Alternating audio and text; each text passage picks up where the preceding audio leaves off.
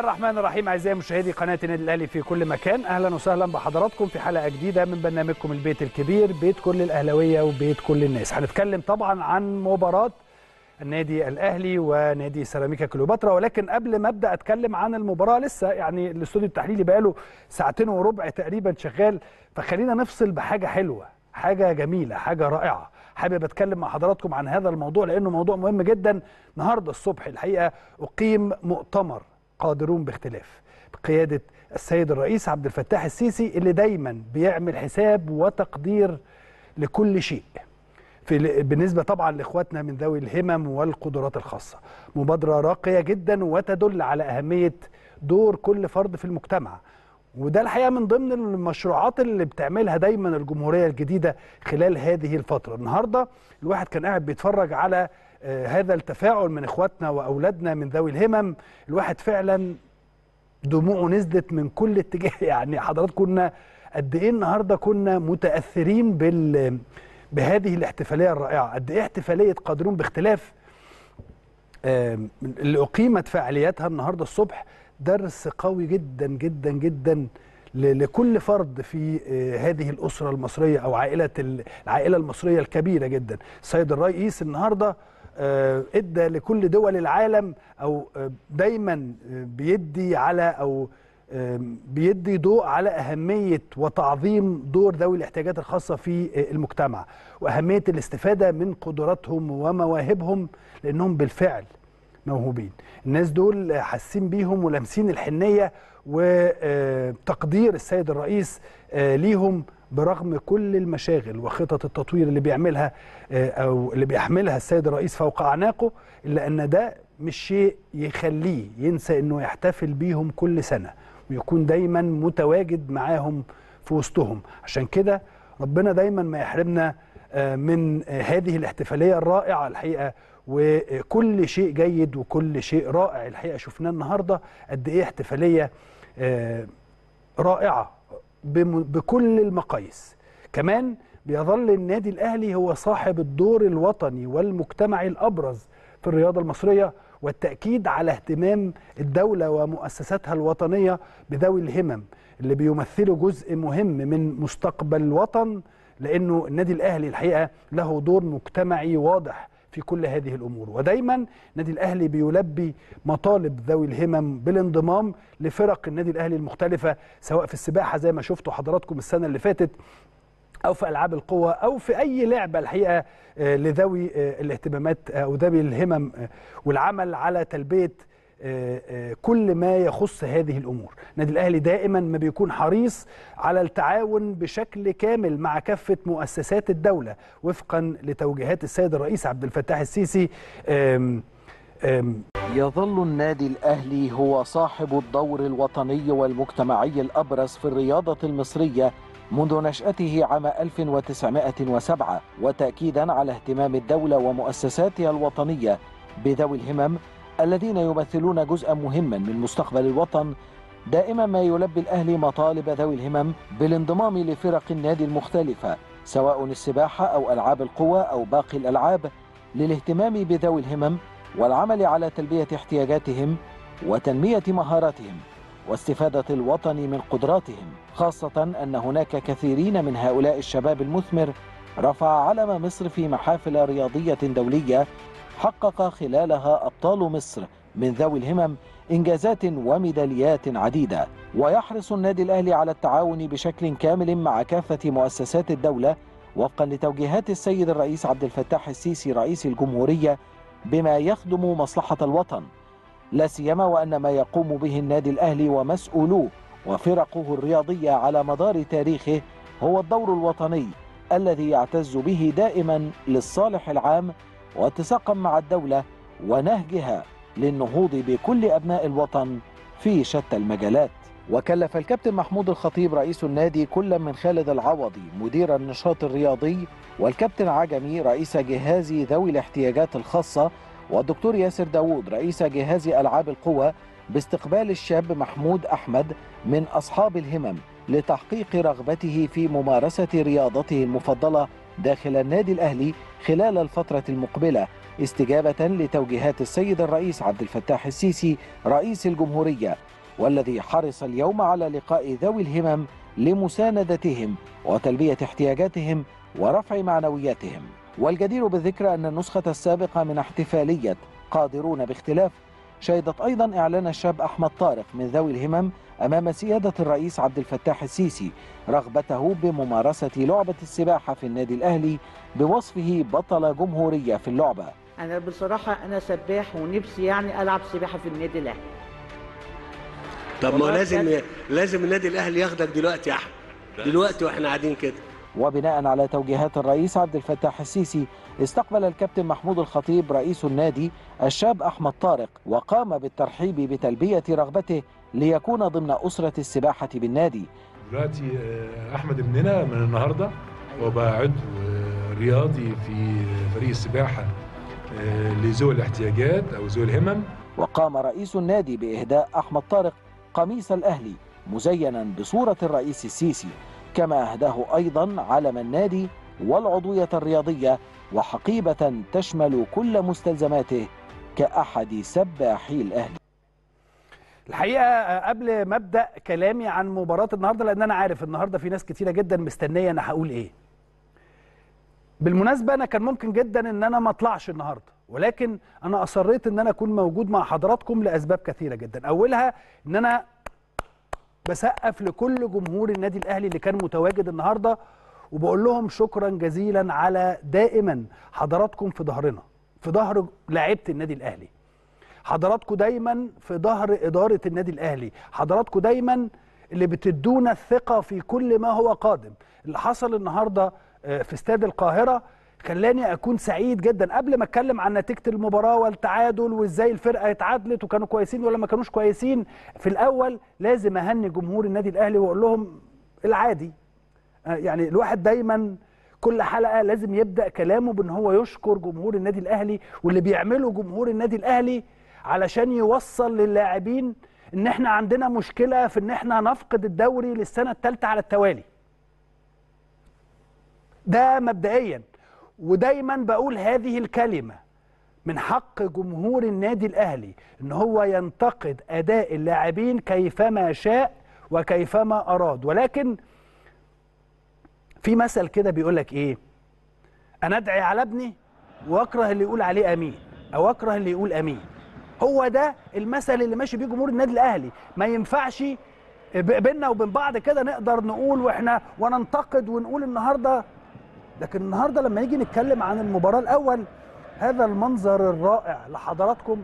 دايما هو اللي بيخلي الواحد يبقى آم، عايز يبقى متواجد في وسط جمهور النادي الأهلي. دايما بيخلي اللاعبين بالمناسبة قبل مباراة النهارده اللاعبين كان عندهم آه، أو جزء من اللاعبين كان عندهم شوية إحباط. اتكلمت طبعا بعد المباراة عندهم سعادة كبيرة مش سعادة ولكن عشان بس ما حدش يفهم كلامي غلط. مبسوطين باللي عمله جمهور النادي الأهلي وبوقفة جمهور النادي الأهلي. وأنا الحقيقة كان ردي واضح جدا للناس اللي أنا بكلمها. قلت لهم هو هو أنتوا كنتوا متخيلين إن جمهور النادي الأهلي هيعمل حاجة تانية غير كده غير المساندة؟ من إمتى؟ إمتى حصلت إن جمهور النادي الأهلي ما بيساندش؟ إمتى حصلت إن جمهور النادي الأهلي لا يدعم؟ إمتى حصلت إن جمهور النادي الأهلي ما بيقفش ورا فريقه وبيكون هو السند والداعم الأول لكل ما يخص كل الفرق الرياضية مش فريق الكره بس. إحنا بنعتبر نفسنا دلوقتي في في وضع صعب. آه بنعتبر نفسنا في وضع صعب. بعد ثلاث تعادلات كان ممكن جدا الثلاث مباريات تكسبهم بعيدا عن المباراتين اللي كنا نستحق فيهم على الأقل التعادل اللي فاتوا ولكن مباراة النهارده على الأقل كنا نستحق الفوز. النهارده جميع اللاعبين اللي موجودين أو معظم اللاعبين مش جميع يعني لما تيجي نتكلم عن محمد هاني لازم نتكلم عن محمد هاني بشكل جيد. لما نيجي نتكلم عن آه، علي معلول لازم نتكلم عن علي معلول بشكل جيد لأن هم آه، موتوا نفسهم النهارده ولكن على الجانب الآخر يجب أن يكون هناك دايما قبل بس ما أكمل الجملة دي أنا كنت بعمل أنا وتعلمتها من أبو تريكة. والله الكلام ده هذا الكلام كنا ما بنقعد مع بعض كنا دايما أبو تريكة في القعدات اللي قبل مباريات المهمة كنا دايما بنبقى المجموعة اللي موجودة بتقعد مع بعض. كلنا كنا بنقعد في يعني بنتجمع كده ونقعد. أبو تريكة على جمعة على بركات على آه، جم على شادي وكل الناس كل الناس اللي بتبقى موجودة. فكنا بنقعد. فدايما أبو تريكة كان يقول آه، أنا لما ببقى وحش وبحس إن أنا مقصر بقعد قدام المراية وأتكلم مع نفسي في المراية. أقول أنت مقصر ليه؟ إيه اللي أنا عملته غلط جوه الملعب؟ طيب أنا بتمرن كويس. أنا بلعب بتمرن كويس جدا. وبنام بدري وبصحى بدري وبعمل كل حاجة كويسة في التمرين. طيب يبقى أنا في حاجة غلط بعملها بره. طيب أزود الصداقات مثلا. والله الكلام ده كنا دايما بينا وبين بعض بنقوله. الكرة لما تبقى واقفة مع واحد فينا كنا نقول له تعالى. ونقعد مع بعض ونسمع منه هو بيقول إيه. إيه اللي عنده من وجهة نظره قد يكون أو بيسبب الوقفة اللي هي و- ال- الوقفة اللي في الكورة دي؟ الكورة مش عايزة تخش جون. ليه؟ فانا بدعو كل لعيبة النادي الأهلي وهم عارفين نفسهم مش كل اللاعبين بعض اللاعبين. مش هنتكلم بالأسماء ولكن هتكلم بشكل عام. اقعدوا مع نفسكم لوحدكم قدام مرايتك. واقعد اتكلم كده وقول أنا عندي إيه غلط؟ ولما تعرف الغلط اللي عندك حاول تصلحه. لأنه صدقني الفترة اللي جاية وأنا بتكلم هنا عن معلومات. لما بيبقى عندي معلومات أقدر أتكلم فيها بقولها. لما ما بيبقاش عندي معلومات بقول بشكل عام. لكن أنا النهارده عندي معلومات يا فندم. أو ده الكلام ده أنا بقوله لكل جمهور النادي الأهلي وللاعبين. الفترة اللي جاية الحساب سيكون عسير جدا جدا جدا. لكل من يخطئ في حق النادي الأهلي. الموضوع واضح. لكل من يخطئ إزاي؟ يعني اللي شايف أو اللي بيؤثر اللي بيأثر في إن هو يلعب في المباراة بشكل جيد. اللي بيأثر في تمرينه. أي حد من اللاعبين هيبقى كده هيبقى حسابه صعب جدا الفترة اللي جاية من الجمهور ومن الإدارة. فعشان كده أنا بدعو ناس معروفين بالاسم. لاعبين معروفين بالاسم جوه فريق النادي الأهلي هم يقعدوا مع نفسهم ويتكلموا مع نفسهم. أنا شخصيا ومجموعة كبيرة من اللاعبين طلعوني أنا بره القصة في مجموعة كبيرة من اللاعبين اللي كانت موجودين في الجيل اللي قبل اللي قبل ده اللي هو جيل 2004 2005 كانت بتعمل كده. وأنا بقول لكل اللاعبين اللي موجودين دي تجربة أو خبرة تجربة الواحد عاشها مع ناس آم، كبيرة جدا وأسمائها كبيرة جدا زي أبو تريكة وزي بركات وزي وائل جمعة وزي شادي محمد وزي جilberto وزي آه، عصام الحضري وزي آه، أمير عبد الحميد. أسماء وعماد النحاس وأحمد السيد ومحمد شوقي. والله أقسم بالله هذا كان بيحصل. بس آه، معرفش هل ده ممكن ما بين المجموعة اللي موجودة دلوقتي ولا لأ. إحنا كنا بنقعد نتكلم كلنا مع بعض. أنا حاسس ان أنا مقصر في التمرين فهزود على نفسي في التمرين شوية عشان ربنا يديني. حاسس ان أنا مقصر في ان أنا مثلا مثلا واحد فيهم مش هقول أسماء لكن كان حد فيهم دايما بيذبح كل شهر. ففي شهر ما ذبحش. فعرف. فلما عمل كده ربنا كرمه تاني. ليه؟ لأنه دي دي الحياة كانت بينا عايش كنا عايشين بهذا الشكل. مين عنده خطأ ويقوله في وسط وي- ويتكلم مع اللعيبة فيه. عشان إحنا نقول له اعمل كذا أو اعمل كذا أو اعمل كذا أو اعمل كذا. أتمنى إن ده يحصل دلوقتي. أنا مش عارف إذا كان بيحصل ولا لأ مع مجموعة اللاعبين اللي موجودين. لأنه صدقوني النهارده مباراة حلوة جدا. المدير الفني اختار تشكيل شاف إن هو الأفضل. وبالمناسبة آه، مارسيل كولر. مارسيل كولر رجل له آه، دماغ معينة. إحنا شايفين ان إحنا عندنا مدير فني جيد وبالتالي خلينا كلنا نقف في ظهره. والراجل النهارده هو بيتكلم في المؤتمر الصحفي قال كلام مهم جدا جدا جدا جدا. قال مثلا إنه عشان أجيب لعيبة تانية إن شاء الله خلال الفترة اللي جاية وبالمناسبة هناك بعض التعاقدات اللي بيعملها النادي الأهلي مع آه، صفقات جديدة ولكن لم يتم أو لن يتم الإعلان عنها إلا عندما تنتهي. خلاص؟ عشان تبقوا حضراتكم بس آه، أهم حاجة تبقوا حضراتكم عارفين الإدارة مش ساكتة. إدارة كرة القدم في النادي الأهلي مش ساكتة. إدارة كرة القدم شايفة أن هناك تقصير من بعض اللاعبين أو في تقصير ما بيحصل. إيه اللي بيحصل؟ هم هيحطوا إيديهم على التقصير ده وبالتالي الإدارة لن إدارة الكرة في النادي الأهلي مش هتسكت. شايفين إن إحنا عندنا مشاكل هنعملها وهنحلها. شايفين إن إحنا عندنا أخطاء هنعرف الأخطاء دي إيه وهنحلها. ده اللي إحنا نقدر نتكلم فيه. لأنه زي ما قلت لحضراتكم النهارده الناس كل جمهور النادي الأهلي اللي كان بيكلمني من بعد المباراة لغاية قبل ما أخش لحضراتكم على الهوا الناس زعلانة من النتيجة ولكن بتقول لي إيه؟ بتقول لي إسلام إحنا حاسين إن في حاجة أفضل. حاسين أفضل من الماتش اللي فات بكتير. حضراتكم لو جبت لكم الأرقام اللي حصلت في الماتش النهارده هي أرقام خزعبلية. يعني إيه أرقام خزعبلية؟ يعني ما تصدقش إن الماتش طلع بهذه النتيجة. ما تصدقش. لما أقول لحضرتك الاستحواذ. 72 28 ده حاجة واحدة. التسديدات على المرمى. مش عارف 25 تسديدة للنادي الأهلي وأربع تسديدات لنادي سيراميكا. فحضرتك لما تيجي تبص على المباراة وأرقام المباراة ودايما أنا بقول كده الأرقام لا تكذب إن الأرقام دي أرقام هايلة جدا ورائعة جدا. خلوني أقول لحضراتكم إنه مارسيل كولر مثلا عامل لائحة رائعة لائحة تحفيزية رائعة للاعبين. تخيل حضرتك إن اللي بيجيب جول من كرة ثابتة بيبقى ليه مكافأة. يعني هناك بعض الأمور التحفيزية اللي, اللي وافقت عليها إدارة النادي لأنه المدير الفني عايز كده. فإدارة النادي أو إدارة الكره في النادي الأهلي بتحاول بكل الطرق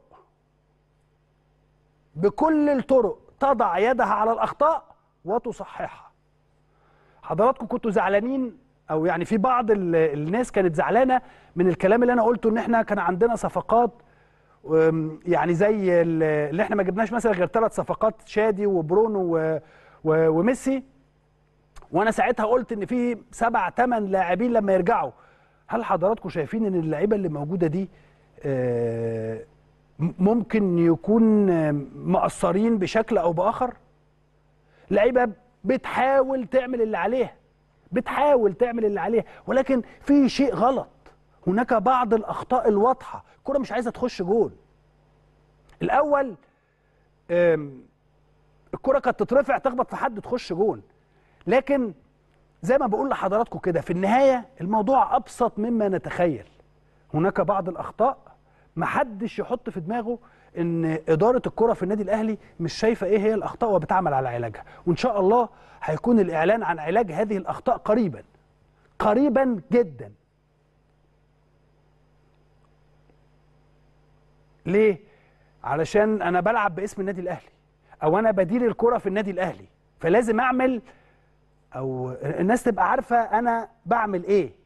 لأن أنا بشتغل باسم النادي الاهلي ولجمهور النادي الاهلي.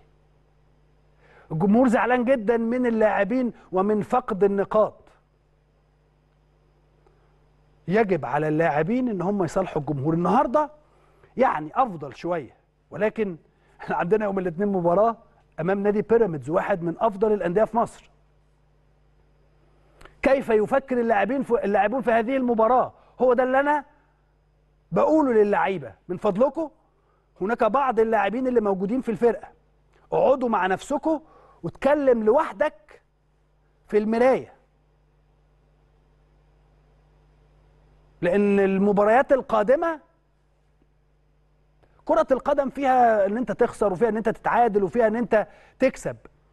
لكن ابذل أقصى مجهود وموت نفسك واتعب علشان في النهاية ربنا يكرمك. شوف إيه اللي ناقصك. تمرين قد يكون يعني ما بتتمرنش كويس. ما تكونش بتتمرن كويس. فحاول تتمرن أفضل. ما تكونش بتنفذ كل تعليمات المدير الفني. بتنفذ تعليمات المدير الفني بنسبة 50% خليهم 70 80% طول ما انت بتعمل كده وبتدي التمرين حقه وبتدي جمهور النادي الأهلي حقه هتلاقي ربنا من عنده. من عنده بيرمي عليك أي حاجة تكسب تجيب أهداف. كرة. تيجي تخبط في رجلك وتخش جون ما تعرفش لكن النهارده اللي يشوف مباراة النادي الأهلي ومباراة سيراميكا كليوباترا ويشوف ال... الأرقام اللي موجودة فيها لا هتعرف إن النادي الأهلي أرقام كبيرة جدا جدا أنا مش عارف أنا بقالي ساعة بقول أرقام ومحدش عايز ينزل نزلوا لي أرقام المباراة. طب بتجهزوها طيب لما تجهزوها نزلوها علشان جمهور النادي الأهلي يبقى شايف إيه هي الأرقام اللي أنا بتكلم فيها ومش إحنا اللي قايلينها. دي مواقع ال- الإحصاء هي اللي بتقول هذا الكلام. لكن عندنا أخطاء عندنا أخطاء. هنحلها إزاي؟ هنحلها وهنفضل ورا لاعبتنا لغاية ما نحلها وهنفضل نساند لاعبتنا لغاية لما نحل هذه الأخطاء. ولكن مش على حساب الفرقة. مش على حساب الفرقة. لن يسكت أحد في حالة فقدان النادي الأهلي للدوري للمرة الثالثة. كلنا بنقول هذا الكلام ولن يستطيع أحد أن يتحمل. مش إحنا ما نقدرش. يعني ست سبع سنين تفقد دوري في ناس بتحصل معاها كده في ما هو في فرق تانية بتلعب ضدك. الفرق التانية اللي بتفقد الدوري بهذا الشكل ما عندهمش مشكلة. أنا عندي مشكلة. أنا كنادي أهلي مش كإسلام. وكجمهور النادي الأهلي اللي أنا واحد منهم أنا عندي مشكلة كبيرة جدا لا قدر الله إن يحصل حاجة زي دي خصوصا لو كان هناك تقصير من اللاعبين. فأتمنى أتمنى إن خلال الفترة اللي جاية الأمور تبقى أفضل من كده خصوصا في ظل زي ما قلت لحضراتكم إن يعني مارسيل كولر النهارده حتى في المؤتمر الصحفي هو بيتكلم المطلوب من المدرب إيه؟ المطلوب من المدرب إن هو يوصل اللاعب للجون. المطلوب من المدرب إن هو يقول لهم لما يبقى في ضربة ركنية يقول للاعبين لما يبقى في ضربة ركنية من الفريق المنافس آه، إسلام بيمسك محمد ومحمد بيمسك إسلام وهكذا صح؟ وإن أنت معروفة إن أنت لازم تاخد الكرة قبل المعروفة مش محتاجة إن أنا أقعد أحكي فيها. فحصل خطأ دخل منه هدف. الراجل قال هنشوف مين اللي أخطأ ونحاسبه. ده طبيعي بالمناسبة عادي مفيش مفيش مشكلة. كل اللاعبين بيتم حسابهم. زي زي ما بيتم مكافئتهم لما بيعملوا حاجة كويسة. طيب خلينا نروح للنجم الكبير الكابتن محمد حشيش. برضو نعرف رأيه في آه، آه، مباراة اليوم وإيه اللي حصل من وجهة نظره. برضه هو يشوفها من وجهة نظر أخرى. كابتن محمد ازي حضرتك. ازيك يا كابتن إسلام؟ أخبار حضرتك إيه؟ كله تمام؟ والله الحمد لله الحمد لله طيب الحمد تعادل النادي الأهلي اليوم آه، مع نادي سيراميكا كليوباترا.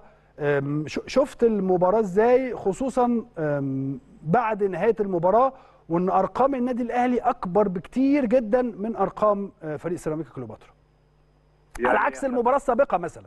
آه طبعا. هبتدي من. من كلامك وأقول إن النهارده يعني الأداء أحسن طبعا من المباراة اللي فاتت. طبعا.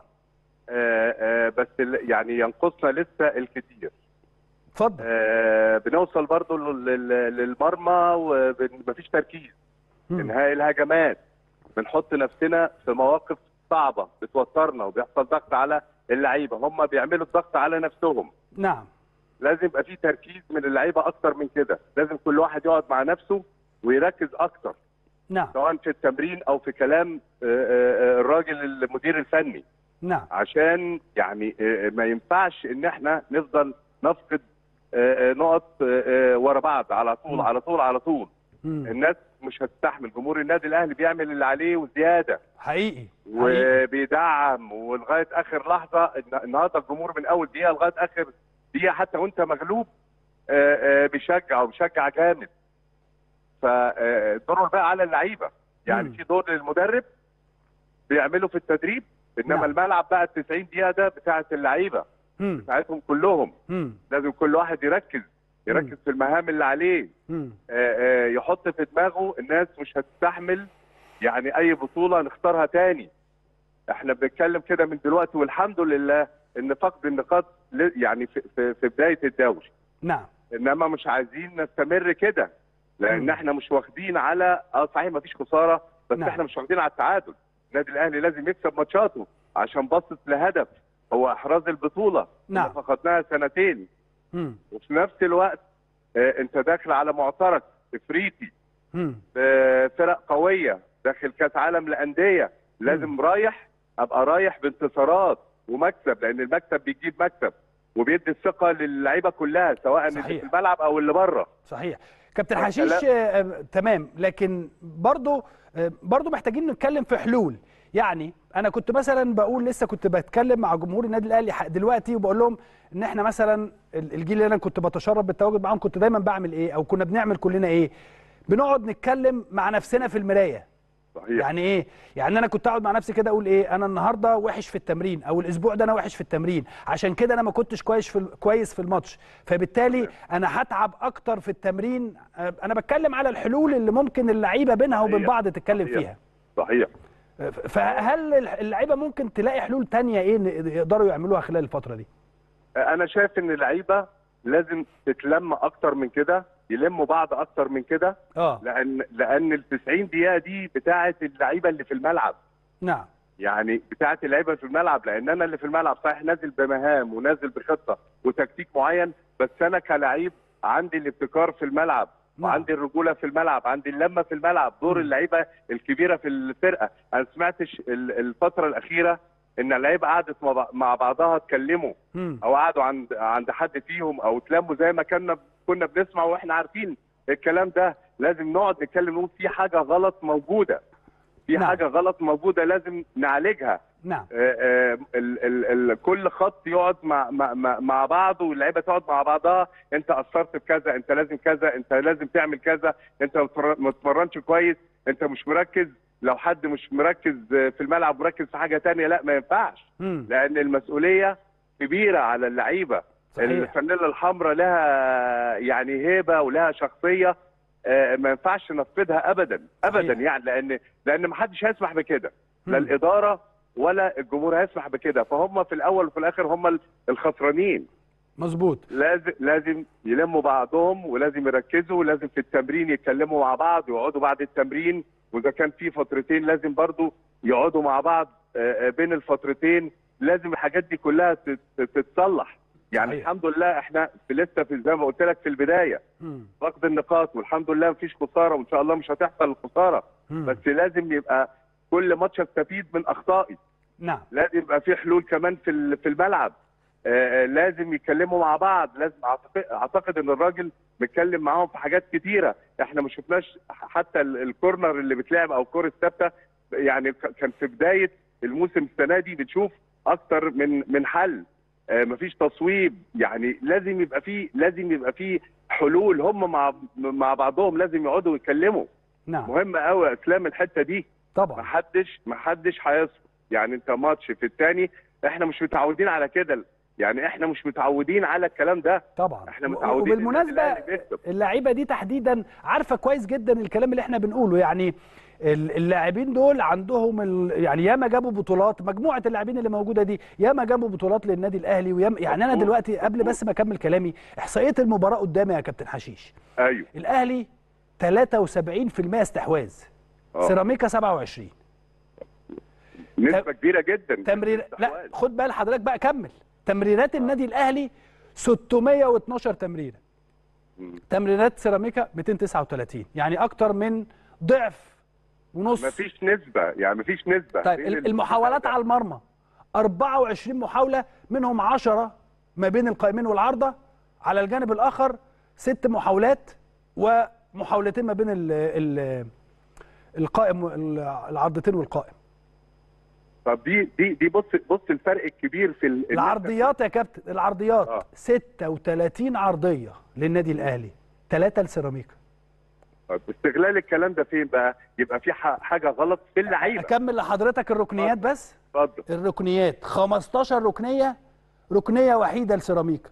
تسللات 4 1 يعني دي الأرقام يا كابتن يعني دي الأرقام مش النادي الأهلي اللي عاملها ولكن دي الأرقام اللي طالعة من الإحصائيات. اتفضل يا كابتن.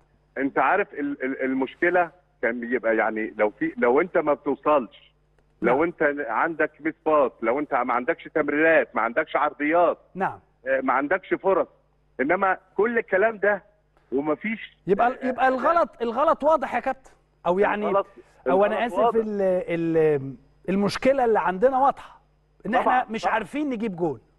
ودي مشكلة كبيرة لأن هو في الآخر كل الاستحواذ وكل العرضيات وكل الكلام ده عشان إيه؟ عشان أحرز أهداف صحيح ده ما بيحصلش ما بيحصلش ليه؟ يبقى في حاجة غلط مم. من اللعيبة في عدم تركيز في ما ما حدش بيموت نفسه على ال- على الكورة لازم لازم اللعيبة تقعد مع بعضها إحنا مرينا بظروف أصعب من كده بس طبعاً. كنا بننزل بنقول طبعاً. الماتش ده هنكسب هنكسب. هنكسب. هنكسب لأن عندنا المقاومات. مم. وزي ما أنت بتقول يا إسلام اللعيبة دي جابت بطولات. حقيقة جابت بطولات كتيرة للنادي و- الأهلي خلال الفترة الأخيرة.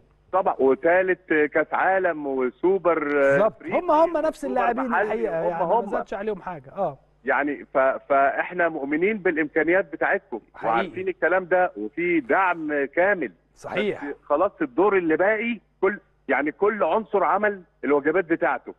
إلا اللعيبة دلوقتي. المشكلة فيهم بقى هم. اللي نعم. يقدروا هم يخرجوا نفسهم من القصة دي ويفرحوا ال- ال- الجماهير تاني ويركبوا الدوري ويدخلوا حتى على البطولات اللي جاية بنفس ويبقى فيه آه، آه، تصميم على البطولات وعلى المباريات. بتبدأ من الماتش.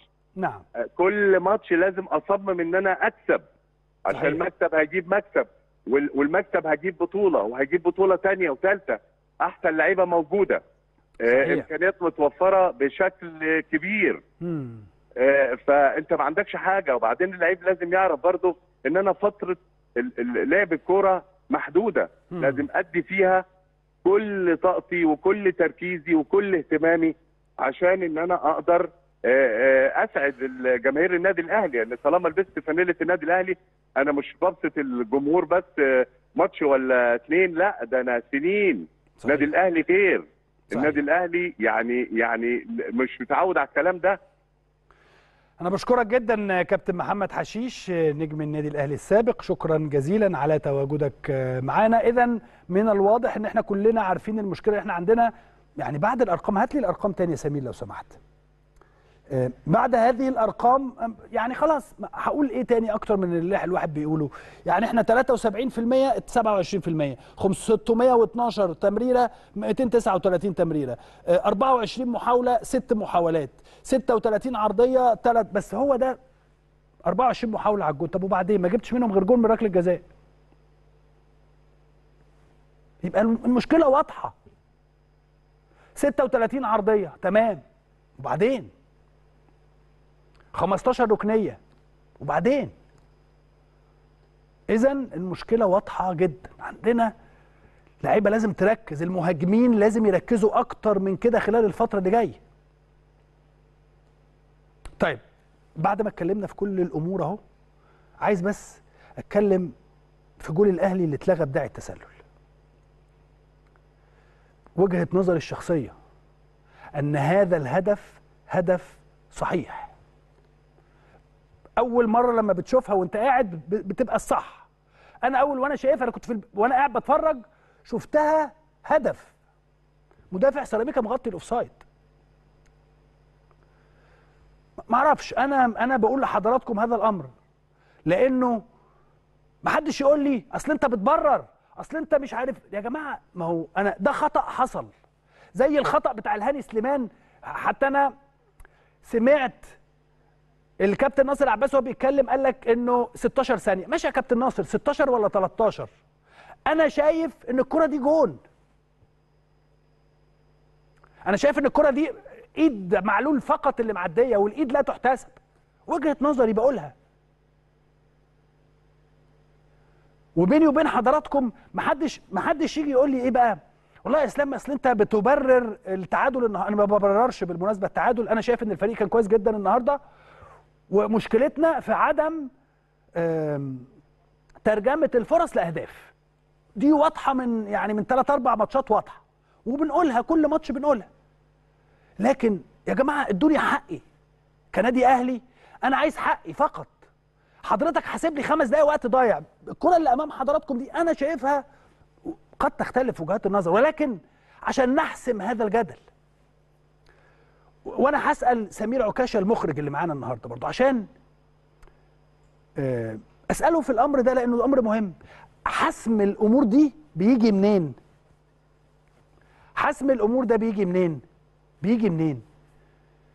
لو لو دايما في من زوايا الكاميرا برافو عليك شكرا يا سمير. من زوايا الكاميرا. زوايا الكاميرا هي اللي تقدر تحسم لك الكرة زي دي. خلينا بس بالمشهد ده سمير.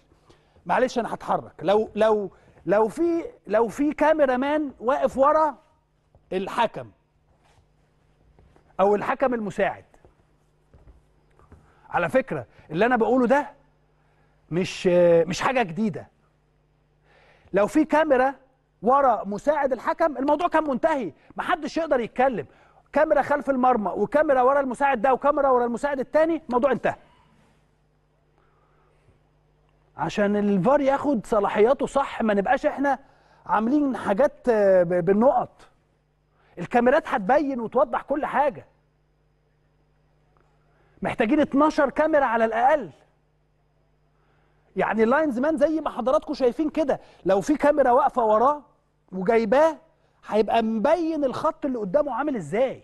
أنا مش عارف أشرحها لحضراتكم معرفش واصلة ولا لأ. فايه المشكلة لما نجيب كاميرات زيادة؟ هل إيه المشكلة؟ يعني محتاجين حد عشان نظبط التسلل. مش عشان حاجة مش للنادي الأهلي لكل فرق الدوري. لأن اللي هيركز كويس هيفهم إن الهدف ده أنا بشوفه هدف صحيح. طيب عارفين حضراتكم لو ال- الكاميرا ده ورا اللاين مان هيحصل إيه؟ هبقى واضح وصريح في إن أنا بقول إن الكرة دي أوفسايد ولا جون. أو ولو في كاميرا مفروض أقل مباراة تتلعب بالفار 12 كاميرا. طب يا عم إسلام أنت بتقول كده علشان أنت اتعادلت النهارده؟ لا والله العظيم ابدا ملهاش علاقة بالتعادل. أنا قلت موضوع التعادل ده فيه إيه؟ ف أنا قلت إن في ضربة الجزاء اللي تم احتسابها. طالما اللاعب دخل برجله كده أنا بشوفها برضو كارت أحمر. فكلمت ال- الناس قالوا لي لا ما تبقاش كارت أحمر ان ده تهور. ماشي. طب أنا بقى كرة علي معلول. أنا بشوفها ركله جزاء. هات لي كرة علي معلول. ليه حضراتكم بشوفها ركله جزاء؟ لأنها اتحسبت عليا كتير. أنا كنت بلعب back right مكان اللاعب لاعب سيراميكا كليوباترا. فأنا اتحسب عليا ركلات جزاء زي دي كتير مجرد لمسة. هي ما حصلش فيها حاجة كتير هي مجرد تلامس. التلا... أو لمسة اللمسة دي كانت بتتحسب عليها ركلة جزاء زمان. فما بالك دلوقتي. أنا بشوف إن هنا الكرة بشماله رقم 21 ده لمس لمس آه، علي بشماله. فبالتالي يحق له ركله جزاء دي وجهة نظري أنا بقولها لأنه والله ما عشان الأهلي ولا عشان إن هي ركله جزاء ولا عشان بصوا حضراتكم دفعة بالإيد ودفعة ب... والكرة آه، ركبة اللاعب رقم 21 جت في آه، فخذ علي أهو أهو بصوا حضراتكم اللمسة دي أنا كانت بتتحسب عليها ركله جزاء كابتن محمد عادل طبعا لاعب نادي سيراميكا. ما أعرفش أنا بقول وجهة نظري وفي النهاية بعد كل اللي إحنا عمالين نتكلم فيه ده متى سيتم احتساب الوقت الضايع بما يرضي الله؟ يعني تخيل حضرتك على كمية الوقت اللي ضاع في المباراة الأولى في الشوط الثاني تم احتساب خمس دقايق وقت. أنا قلت هيدي عشر دقايق كابتن إبراهيم. كابتن إبراهيم كمان من نوعية الناس اللي بتحب ال ال إن هي تقول إن أنا بطبق القانون. على الأقل عش... على الأقل سبع ثمان دقايق مش هقول عشر دقايق. يعني هدف مش هدف لم يتم احتسابه ألغي بداعي التسلل وجهة نظرنا إن هو هدف صحيح. وأنا بدي لحضراتكم الحلول.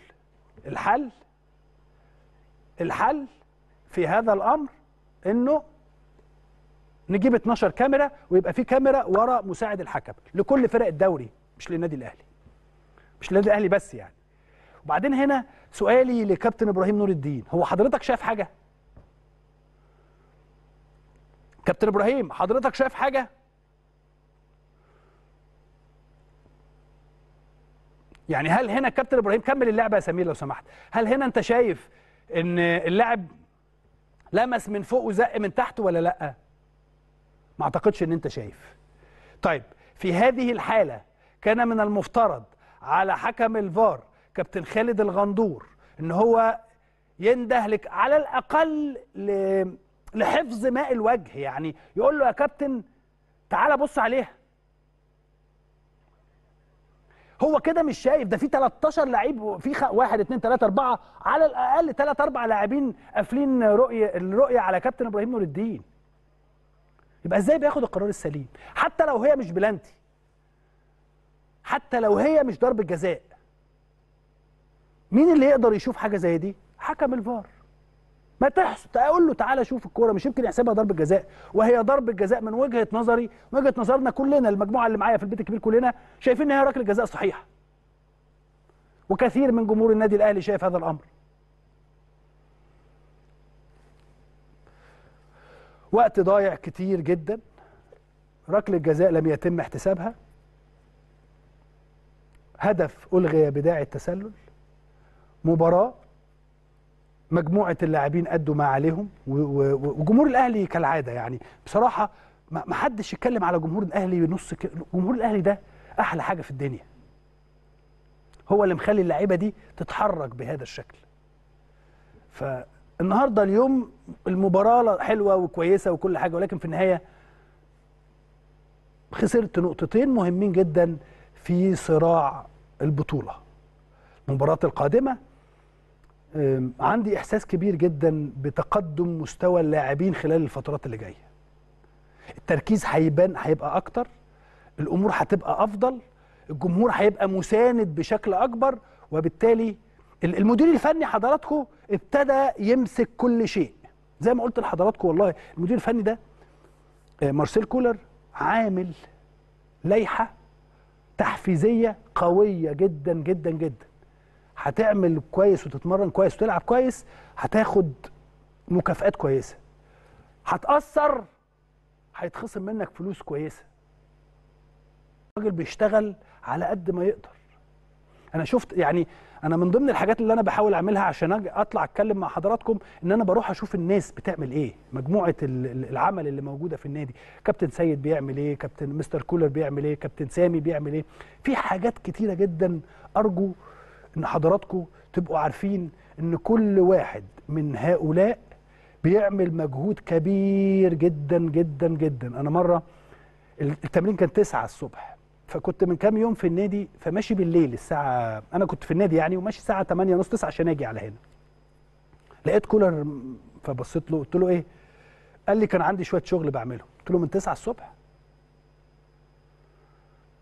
هتقول لي ده دوره دوره فعلا بس أنا دوري برضو إن أنا انقل لحضراتكم إيه اللي بيحصل. إدارة الكرة في النادي الأهلي بتعمل وبتبذل مجهود يعني أتمنى إن أنا ما كنتش عايز أتكلم في النقطة دي ولكن لا الناس قالت لي يا كابتن ما تقول. يعني أنا بيكلمني من جمهور النادي الأهلي كتير جدا. قالوا لي قول قول في الهوا إن الجمهور إدارة الأهلي بتبذل مجهود وهتشوفوا الفترة اللي جاية.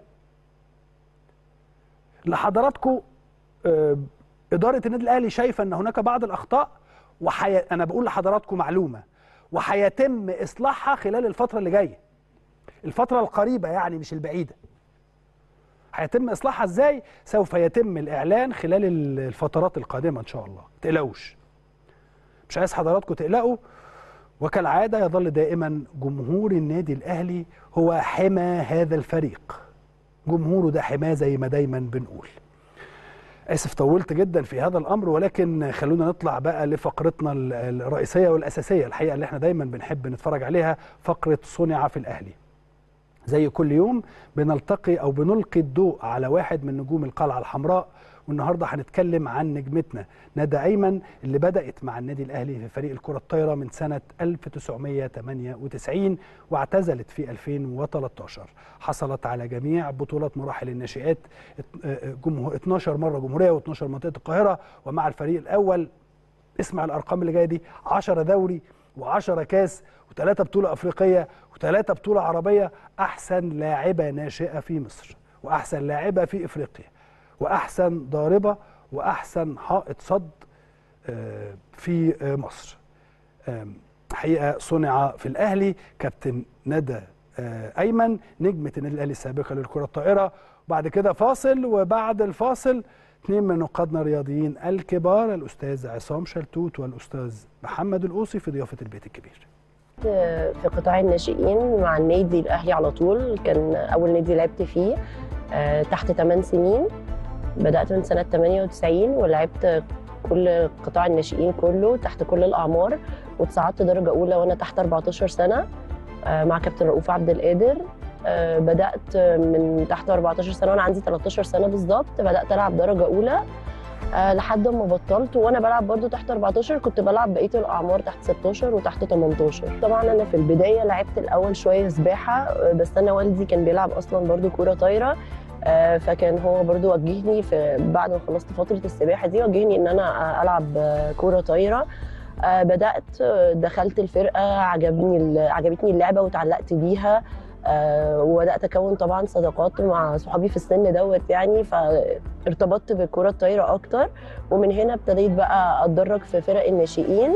بس السبب الأساسي كان والدي لأن هو أصلا كان بيلعب كرة طايرة يعني. النادي الأهلي ده بيعتبر بيتي يعني. آه، إحنا عمري كله طفولتي شبابي آه، لحد ما حتى أنا اتجوزت من النادي الأهلي يعني. محمود الجزار كان بيلعب باسكت برضه في النادي. فهو أنا كل مراحل حياتي تقريبا قضيتها في النادي. أنا وأسرتي بنخلص مدرسة بتيجي على النادي آه، بمذاكرتك بحاجتك بكل حاجة. فكل الحياة تقريبا في النادي. اتعلمت كل حاجة في النادي يعني. زي ما بيقولوا اتعلمت أصلا الحياة في النادي يعني. أنا لعبت في النادي من سنة 98 من 98 كل بطولات طبعا الن- الناشئين والناشئات يعني 10 يعني 10 10 12 14 لحد الدرجة الأولى خدت كل البطولات فيها سواء آه، الدوري أو المنطقة. وبعد كده طبعا في خلال العشر سنين دول برضو لعبت في الدرجة الأولى العشر سنين لعبتهم درجة أولى خدت كل البطولات المحلية تقريبا وطبعا خدت مثلا ثلاثة أفريقيا ثلاثة بطولة عربية. آه، أكتر بطولة بالنسبة لي يعني أو من أكتر البطولات اللي معلمة بالنسبة لي كانت بطولة أفريقيا سنة 2009 ودي كانت آخر بطولة لكابتن رؤوف عبد القادر معانا قبل ما يتولى منصب مدير النشاط الرياضي ودي كانت من أحلى البطولات ومن أكتر البطولات اللي إحنا كنا فعلا مشتاقين فيها فعلا للمكسب لأن كان بقالنا سنتين مثلا ما خدناش بطولة أفريقيا. فكانت آه، مهمة جدا بالنسبة لنا في الفترة دي وفعلا حققناها وكانت في كينيا وكان وقتها الفريق الكيني الفرق الكينية عامة كانت يعني من الجيل الذهبي لل لمنتخب كينيا وللأندية الكينية كانت الفترة ديت. فكانت بطولة صعبة جدا وعلى أرضهم وكسبناها فعلا وكانت بطولة مهمة لينا جدا كلنا يعني كفريق.